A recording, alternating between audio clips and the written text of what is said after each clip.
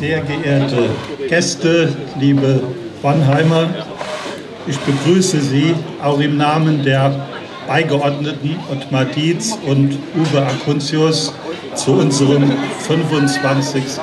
Saubrunnenfest sehr herzlich.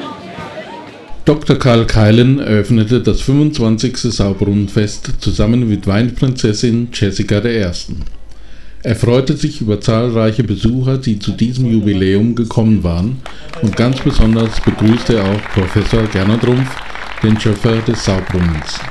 Dieser kam zusammen mit seiner Gattin trotz seines Handicaps und ließ sich so diesen Ehrentag nicht nehmen.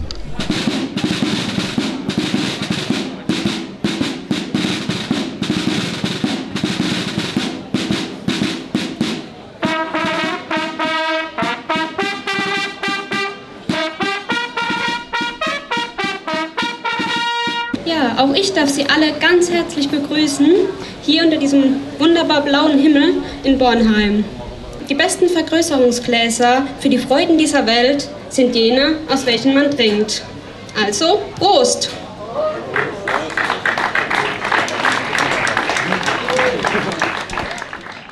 Die ehemalige Wachthäusel-Kombo, jetziger Name Garthaus, setzt jetzt zur musikalischen Untermalung des Festes an und ich werde die Zeit benutzen, um mit Ihnen einen kleinen Rundgang zu machen.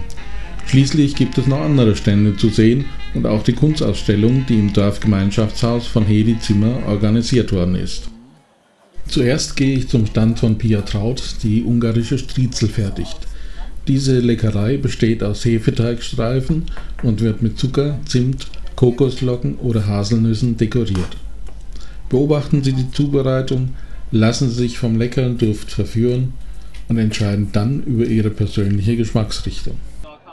Auch kleine Stände zeigten ihre durchaus interessanten Angebote. So zum Beispiel der Bier- und Spirituosenstand des Bärenbräus, der sicher immer Zuspruch hat. Leckere Süßwaren, die meistens erst zum Schluss mitgenommen werden, um für den Nachhauseweg noch eine Stärkung zu haben, und der Bücherstand mit seinem Bildungs- und Unterhaltungsangebot, um langweilige Fernsehabende besser zu verbringen. Und dann gab es auch noch das bayerische Hexenöl, gut gegen das Zipperlein, und ein Runenschnitzer, der nach eigenen Angaben der absolut echte Weihnachtsmann sei. Hohoho.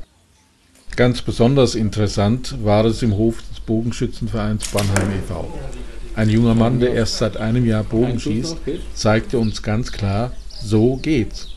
Ich denke, wir werden noch einiges von ihm hören und sehen. Super. Dankeschön. Also ich habe hier den ersten und den zweiten Vorsitzenden vom Bogenschützenverein Bannheim und ich freue mich darüber, den jungen Mann, der gezeigt hat, wie das Ganze geht, den haben wir ja schon gesehen. Und Frage an die Vorsitzenden, wie lange macht der Verein das schon?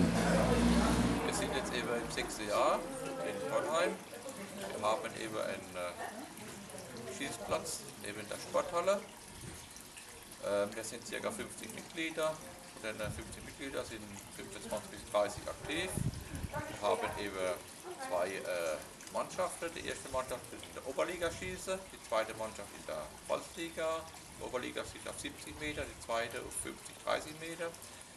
Wir werden nächsten Monat, zweite Wochenende, die Landesmeisterschaft austragen haben wir ca. 250 Teilnehmer. Das geht über zwei Tage, Samstag, Sonntag.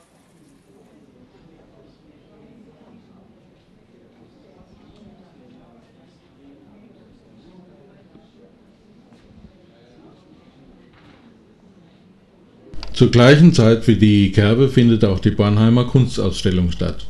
Sie wird organisiert von Hedi Zimmer. Mit einigen der ausstellenden Künstlerinnen habe ich gesprochen. Birgit Wutschler zum Beispiel stellt filigran bemaltes Porzellan mit Pigmentfarben nach Art der klassischen Porzellanmalerei her. Auf meine Frage, wie denn das Verhältnis zwischen Aufwand und Ertrag sei, antwortete sie: Also davon leben könnte man nicht. Ich hab, ich hab, äh, nee, Eine Künstlerin, die letztes Jahr noch nicht anwesend war, zeigte in diesem Jahr Tücher und Schals aus Seide und wunderbar weicher Wolle in zum Teil sehr leuchtenden Farben.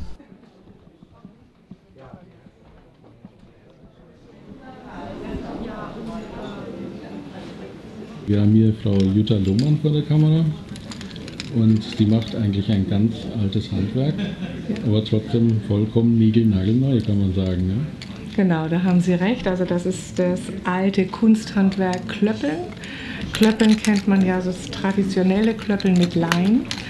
Äh, man hat also mit vielen Materialien geklöppelt, aber man kennt es eigentlich mit Lein oder Seide. Und seit gar nicht so langer Zeit gibt es diesen Edelstahldraht auf den Markt und damit kann man klöppeln. Äh, und man kann ganz ausgefallene Sachen machen. Das ist wirklich Klöppeln mal jetzt modern. Äh, ich habe mir das gekauft, den Draht, und habe losgelegt und klöppel jetzt Schmuck ganz ausgefallene Sachen, äh, die außergewöhnlich sind. Das ist wirklich, es bringt Spaß. Es ist ein Material, ein Edelstahldraht. Es ist fast oder es ist hautneutral, es kann jeder tragen. Es ist einfach schön. Ist dieser Draht ursprünglich für etwas anderes gemacht worden? Nein, der Oder ist. Oder ist er speziell für das äh, Klöppelhandwerk? Ja, der ist speziell für das Klöppelhandwerk ja. gefertigt. Also da ist jemand auf die Idee gekommen, das könnte man mal machen. Genau. Und das klappt jetzt. Genau, genau. Wunderbar. Viel Erfolg noch. Und Dankeschön. Anfang des Jahres ist die Decke der protestantischen Kirche in Essingen heruntergestürzt.